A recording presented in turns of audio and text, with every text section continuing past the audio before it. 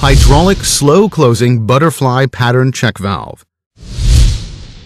Hydraulic slow closing butterfly pattern check valve can effectively prevent backflow and protect equipment integrity by minimizing damage from water hammer. It is mainly used in large diameter water and steam pipe systems. This product is comprised of valve body, disc, stem, and swing-type damper cylinder.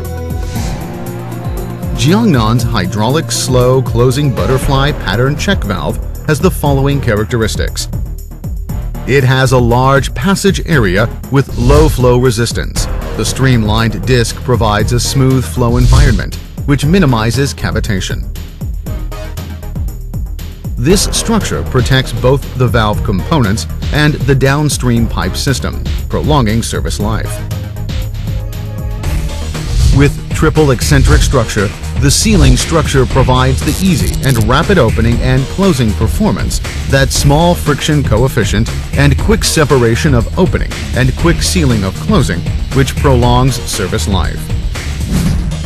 The large eccentric structure makes sure that the higher the pressure, the better the sealing effect, effectively preventing backflow.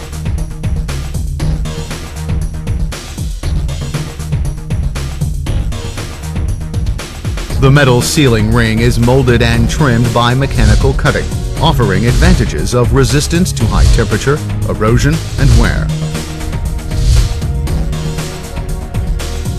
The slow closing cylinder can be modified with weight or counterweight.